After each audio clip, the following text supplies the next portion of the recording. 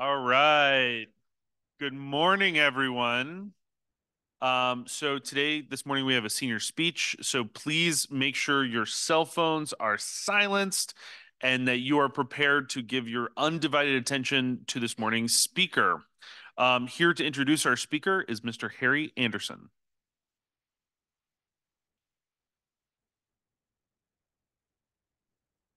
I've named Paul ever since I've came to North Cross, but we were not true friends until until high school. But I do not want to focus on that relationship, rather on why I came to North Cross. I came to North Cross in order to improve my opportunities based on the proximity to resources that I was lacking at my old school.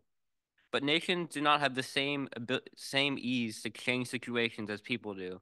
Rather, they must use, rather they must expand aggressively in order to um, reach for these opportunities that they are lacking. Here here to talk to you about the cause of Russian aggression, Paul Schueler.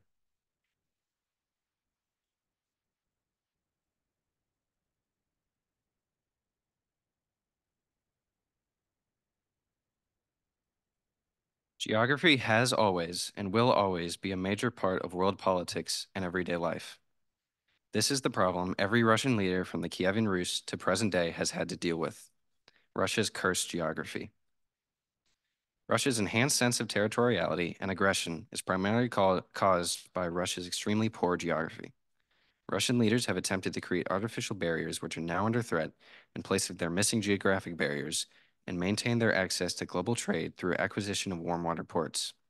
By looking at this case and others throughout history through the lens of geography, we can understand the motivations behind Russian acts like the invasion of Ukraine. So, let us analyze Russian geography. Russia is immense. It is the second largest in the, in the world by total land area. Currently, it holds sovereignty over 6,592,772 square miles, spans 11 time zones, and has coasts on the Pacific and Arctic Oceans, as well as on the Black Sea and Baltic Sea. It holds incredible biodiversity and has over 23,000 miles of coastline. Russia shares 1,400 miles of border with European Union states, Moscow is 250 miles away from the nearest border, and Russians mostly live on the west side of the country, east or west of the Ural Mountains. It, it boasts a population density of nine people per square kilometer, and because of how huge it is, it recognizes 85 different ethnic groups, which makes it complicated to organize. There are two key aspects of Russia's geography to focus on. First, Russia needs water. Port is defined as a place where ships may take on or discharge cargo. According to the United States Department of Transportation, the United States has over 300 ports. According to Maritime UK, the United Kingdom has 120 ports.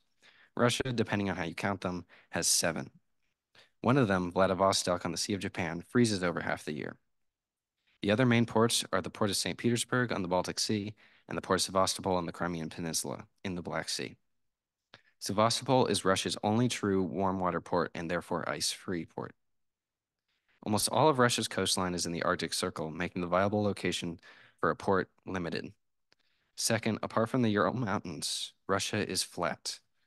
The Northern European plain is, quote, the greatest uninterrupted expanse of plain on Earth's surface, end quote. It stretches from the Pyrenees in France and Spain to the Ural Mountains in central Russia. The plain was formed about 2,600,000 to 12,000 years ago.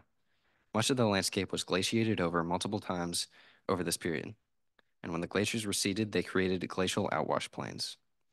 All of Western Russia exists within this phenomenon. It slowly gets narrower as it moves west, but functionally there are no major geographic barriers between the heartland of Russia and the French border with Spain. Two foreign powers have used this plain to invade Russia from the west. They have used this plain as a highway into the Russian heartland, straight to Moscow. Napoleon declared war in 1812 and made it to Moscow. However, it had been burned to make sure the French could not replenish their supplies and force a retreat that severely weakened Napoleon. Nazi Germany declared war in 1941, but were stopped just before Moscow. After three years and over 20 million dead, they were pushed all the way back to Berlin. The Northern European plain has shaped Russian foreign policy for centuries. The flat land allows for invading forces to move swiftly across the landscape. I'm going to use an analogy from the book Prisoners of Geography by Tim Marshall. In the chapter on Russia, Marshall compares the plain to a wedge, with Poland being the tip of the wedge. Here, the plain is only 300 miles wide, meaning it's a choke point Russia can plug with military strength and political influence.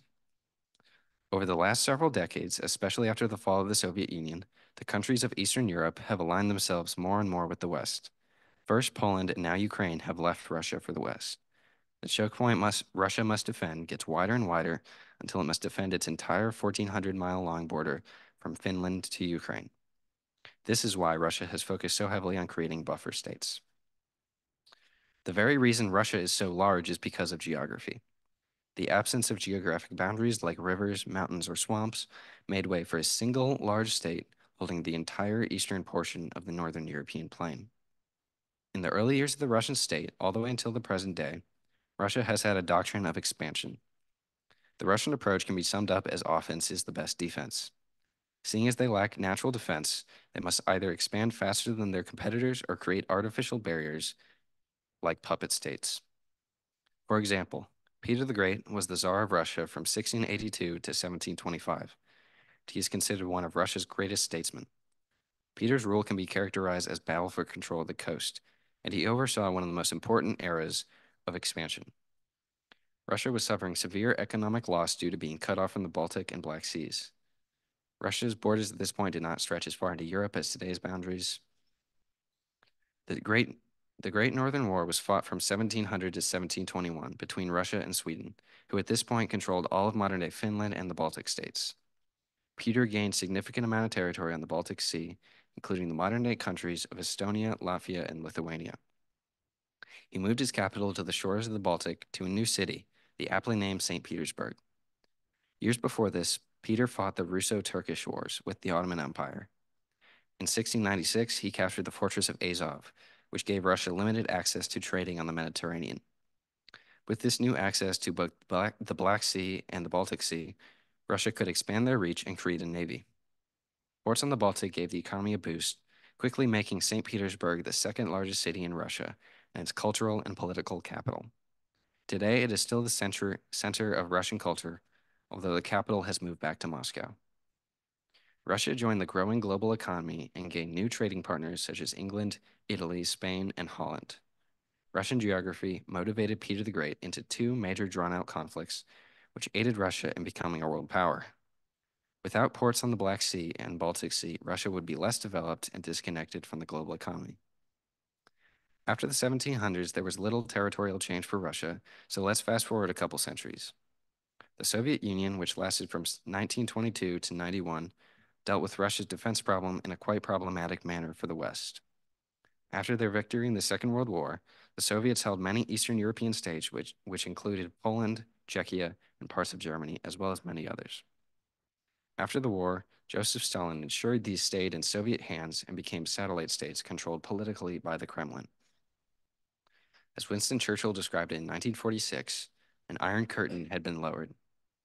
At that time, Moscow was over a thousand miles away from, his, from their Western rivals of the United States, UK, and France, rather than only 300 miles from the Polish border. As long as the curtain was lowered, Russia couldn't be invaded from the west through the northern European plain.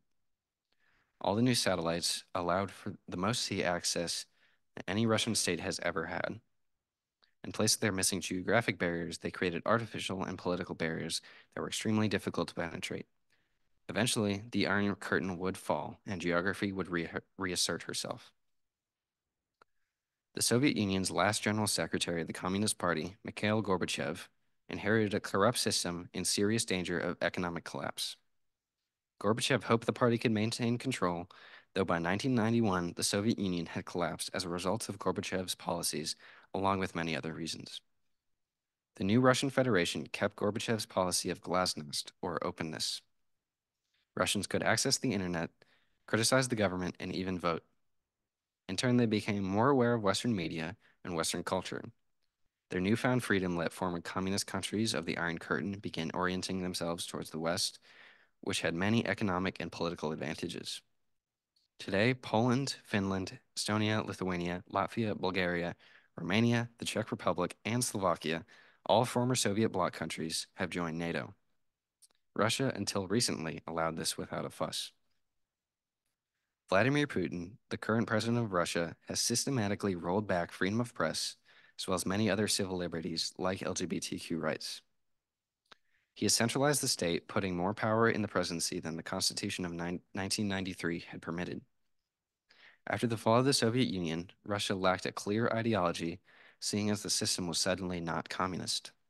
Putin fixed this by making his own ideology, which is even helping him remain popular even as casualties mount in Ukraine.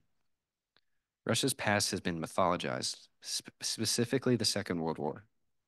Putin still uses the threat of Nazism to justify his actions. According to his narrative, the entirety of the West was under a Nazi conspiracy during the Second World War. Putin has cultivated a feeling of isolation that it's Russia against the world. His paranoia is palpable. In 1994, after the fall of the Soviet Union, Ukraine, Belarus, Kazakhstan, Russia, and the United States signed the Budapest Memorandum. This agreement had Ukraine, Belarus, and Kazakhstan, all former Soviet satellites, denuclearize. Until this agreement, Ukraine was the third largest nuclear power behind only the United States and Russia. In exchange, if any country were to attack Ukraine, Russia and the United States should come to their aid under this agreement. This decision at least appears to have backfired as one of the countries they sought security from would invade them just 20 years later. In March of 2014, the Kremlin officially annexed the Ukrainian peninsula of Crimea, along with the key port of Sevastopol, in response to the overthrow of the Ukrainian president Viktor Yanukovych just one month earlier. Yanukovych was overthrown after he threw out a bill that would bring Ukraine closer to the West and instead opted to strengthen ties with Russia. Protesters were able to force themselves in, into government buildings and take over the government. Russian President Vladimir Putin justified the annexation by citing protection of the large number of ethnic Russians within Crimea. He would later use the same justification, among others, for the larger invasion of Ukraine. Putin's real motivations for obtaining Crimea, however, are rooted in its geographic location.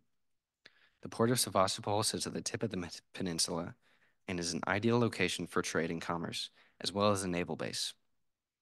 With their influence within Ukraine's government significantly diminished, and their power in the Black Sea at risk, Putin acted quickly in the interests of Russian national security, securing the only Russian port on the Black Sea.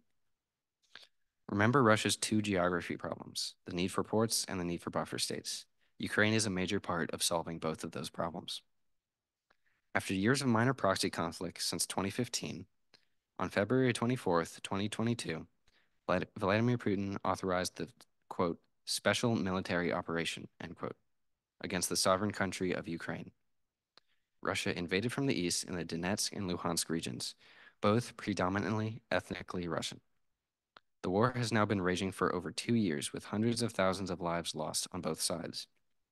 Initially, Russian forces advanced quickly. However, however the Ukrainian army made a stand at, at Kiev and pushed them all the way back to Donetsk and Luhansk. According to the New York Times, it was estimated in August that half a million people had been killed, not including civilian casualties. Over 10 million Ukrainian civilians have been displaced internally and abroad, with many fleeing to neighboring countries such as Poland and the Czech Republic. Putin stated in, in a speech on February 22, 2022, Russia's goals were to, quote, demilitarize and denazify Ukraine and even end quote, and even went on to even claim an alleged genocide of ethnic Russians within the country. These were not, in fact, his actual motivations, but an attempt to convince the Russian people this invasion was justified. Putin's popularity has stayed consistently high and even jumped when Crimea was annexed. Propaganda, nationalism, and manipulation of his own people have allowed him to remain so popular. As stated before, the, the former communist bloc countries have slowly been aligning themselves with the West. As their sphere of influence diminishes, the Western threat becomes more and more real.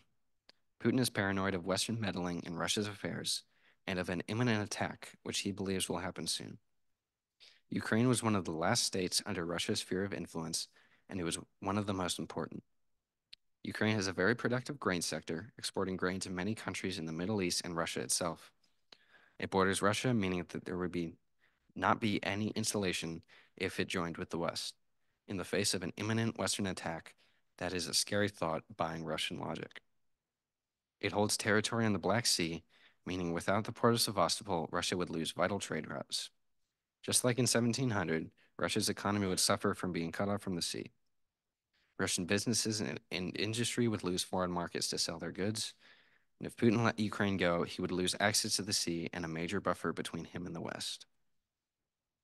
Geography is a main reason why Putin is doing what he's doing. However, it is not the only factor. There are many cultural and economic reasons Putin has decided to invade. For example, Putin has stated multiple times that Ukraine is not a sovereign country, and it was always and should always be a part of Russia. Geography is the most important factor because of how it influenced Putin's predecessors and because of the very real economic and political threats geography poses. However, this current war is far from the best solution and has even hurt Russia more than it has helped. Sanctions on Russia have slowed the economy down. Central Asian countries such as Kazakhstan and Kyrgyzstan, or former communist countries, have been distancing themselves from Russia, as well as, of course, the hundreds of thousands of casualties on the front lines. Internally, opposition has grown and become more vocal, speaking out against the war. Many people choose to speak out despite severe punishments.